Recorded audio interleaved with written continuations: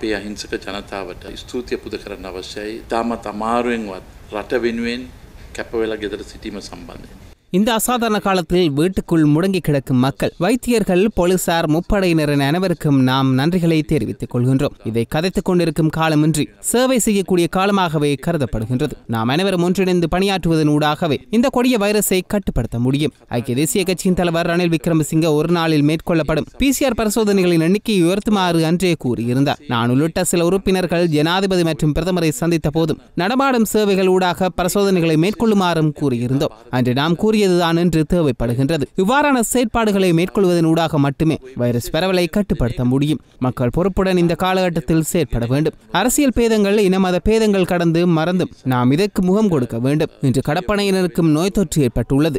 எனவே முப்படையினர் போலீசார் வைத்தியர்கள் பாதுகாப்பு தொடர்பாகவும் அரசாங்கம் அதிக அக்கறையுடன் செயற்பட வேண்டும். குறைந்தது நானூறு பிசிஆர் சோதனைகளை எனும் நாளொன்றுக்கு மேற்கொள்ள வேண்டும். அதே நேரம் கடந்த ஒன்றரை மாதங்களாக நாட்டின் ஒட்டுமொத்த பொருளாதாரமும் வீழ்ச்சியடைந்துள்ளது.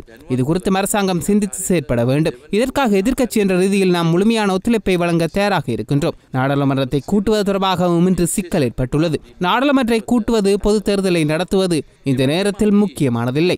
ஆனால் அரசாங்கம் மேற்கொள்ளும் செயற்பாடுகளை மக்கள் புரிந்து கொள்ள வேண்டும் என்பதற்காகத்தான் நாம் நாடாளுமன்றை கூட்டுமாறு கேட்கின்றோம். நாடாளுமன்றம் தேவையில்லை என்றால் அரசாங்கமும் தேவையில்லை என்ற அர்த்தம்தான் வெளிவருகின்றது. இது தொடர்பாகவும் அரசாங்கம் உரிய நடவடிக்கைகளை மேற்கொள்ள வேண்டும். அப்படி அம்மாறு ඒ ඩියස්ල ඩඩ්ලිලා ජයල්ලා හදපු පත්්‍රය අපි රැකගෙන කටයුතු කරන්න අපට බැඳී තියෙනවා යම් වගකීමක් ඒ අපි ඉෂ්ට කර.